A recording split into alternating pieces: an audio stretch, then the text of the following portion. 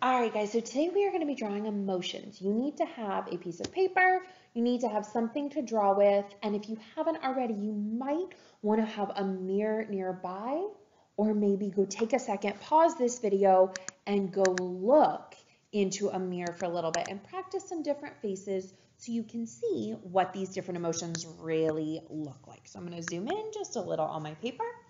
And the first thing I'm going to do is I'm going to draw four circles or ovals because we want to draw today at least four different emotions, four different faces. We want to practice those. So I'm going to draw four circles or ovals on my paper to put those emotions into. I'm actually going to turn my paper. Oh, I'll leave it this way. Can't make my mind up today. Now I want to make sure these ovals and circles are big enough to fit eyes, ears, nose, mouth, all those different things, eyebrows that I'm going to want when I'm drawing my emotions. But they can kind of be put any way they fit best on your paper. So now that I have four faces, and if you guys decide you want to draw more than four, that is okay with me. Now that I have my four faces drawn on here, I'm going to start practicing drawing some different emotions. So if for my first one, I am going to start with a sad face. I want to think about what are the eyebrows going to do? Do they go up, down? What is the nose, the mouth, the eyes? What are those going to do? So when I looked at my face in the mirror and I was looking a little sad, you could see my eyes, but my eyes kind of closed a little bit. So I'm going to draw kind of my eyelid coming over my eye a little bit there, and then I'll draw my pupil and my iris kind of in the middle of my eye, and I kind of look down, like I don't want to look at myself when I'm sad, and my eyebrows, they're just kind of there. They're not real angry and pointed down or up. My nose, I just kind of have my nose doesn't do much with emotion, so I'm just going to do a little curve in the middle like some of the pictures you saw before. But maybe if my nose was all like scrunched up because I was angry or scrunching up my face, I might draw a little more to it. And then when I'm sad, I kind of have my lips kind of purse and they go down to the side a little bit. So I'm going to kind of draw our normal sad face line like a curve that's upside down. And then you kind of see I have these little creases right down by the sides of my mouth when I'm sad. And then guys, if I really want this to look like me, I of course am going to add a few other details. But what I do want you to focus on today is really yours. If you want to go through and add your hair and all of those other fun details, you can do that as well.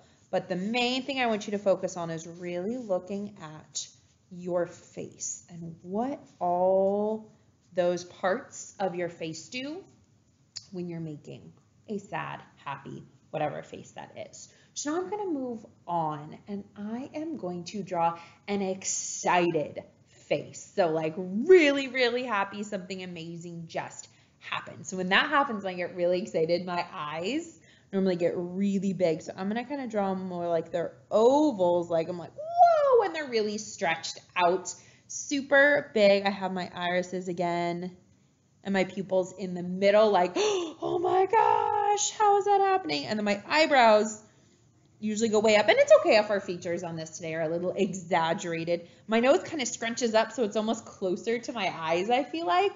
And then usually when I'm excited, my mouth is going to be big, big, big, big, big, and it's going to be open where I can see my teeth my tongue and even the inside of my mouth, which I'm just going to color in nice and dark, like the background there. So I get so, so, so, so, so excited.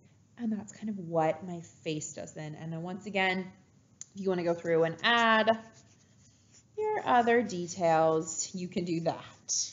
So I have sad, I have excited, and I'm going to go through and do two other emotions as well.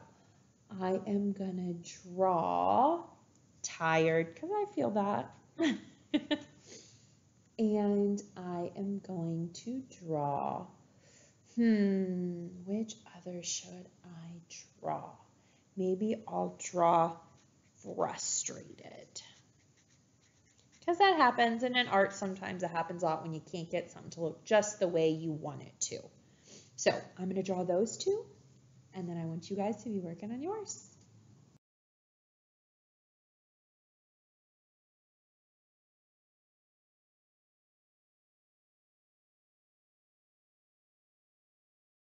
All right, guys, so good. So you see on my last one, my frustrated one, I kind of even draw some wrinkles up on top of my nose of how scrunched up my nose gets when I get frustrated. And I'm just like, oh, I don't know what to do. I don't know how to do this. And it is kind of an upset, angry, frustrated face. All right, so you guys have fun, create your different emotions, and I can't wait to see what you do.